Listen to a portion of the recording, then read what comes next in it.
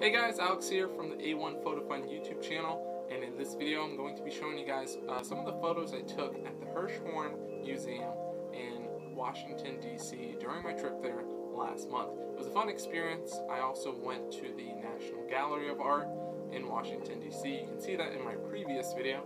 I'm obviously recording this video right after, but uh, same format as before.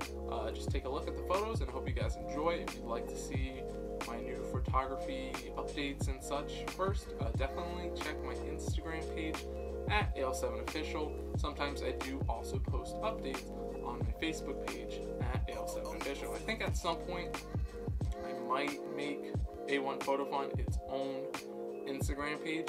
And I'm also looking to create my own business cards for doing photography, video production, and overall visual media. So I think A1 Photo Fun would be a good name for that. I'm not too sure as of yet, but uh, I guess I'll see as time goes on. I think it would be better than calling it Ale7 Official or just like my name for photography. I think something more catchy like A1 Photo Fun uh, might be something that sticks out a little more in people's minds. So if you guys have any thoughts or suggestions, if you think A1 Photo Fun would be a good name for a photography service, let me know in the comment section below. And uh, enjoy the photos. I'll see you guys in my next video. This is Alex from the A1 Photo Fun YouTube channel, and I'll catch you guys next time.